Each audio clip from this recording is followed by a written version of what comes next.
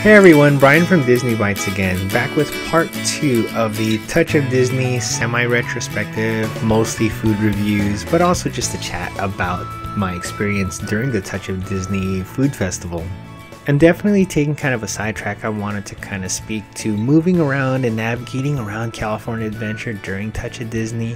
While everybody really did observe social distancing and a lot of the kind of Disney characters, or even the parades that we're so used to kind of hearing on the background or enjoying as they're passing by.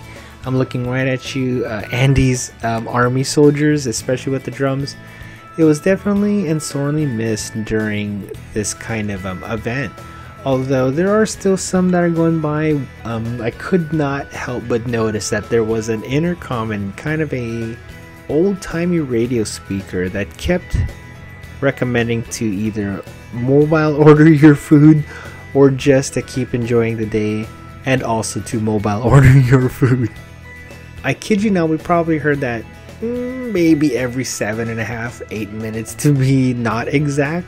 But you would hear that kind of pipe in through the kind of um, reimagined uh, current pop music to don't forget to mobile order your food. And jumping on to the kind of the cheese style hype train, I wanted to talk about the next one we tried over at the Smoke Jumpers Grill, and that is the brisket mac and cheese. And so, if you're starting to see a pattern of cheese filled types of entrees from Touch of Disney, you're not entirely wrong. and so, the portion on this one was quite small to be honest, but the brisket definitely more than made up for it. I don't think we'll ever have a chance to enjoy this um, offered by the normal park. Um, I'm hoping so, but I don't think it'll commit any uh, any real option. I'm trying to think possibly through Carthay Circle or you know more of the larger restaurants if you're thinking of say Blue Bayou might offer something. But having a brisket style flavored with mac and cheese is so good, and even the uh, the onions was a very very nice touch. Could even offer as a palate cleanser at the same time. But I really did enjoy this. The the cheese was definitely gooey in that good way. this next review coming up is actually one that I wanted to talk about. I didn't necessarily enjoy, but it's for the watermelon aguas frescas that was served at the Cluck a Doodle Doo. My mistake, it was called the Cluck a Moodle Doo.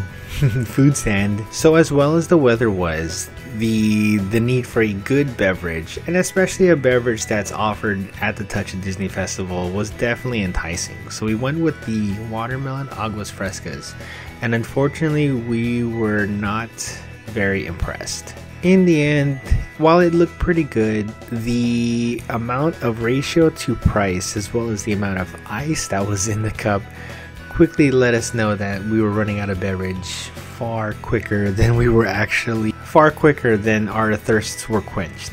Anyways, that's it for me for this part for the Touch of Disney Food Festival. If you thought anything in here was enlightening or informative, feel free to hit that like button.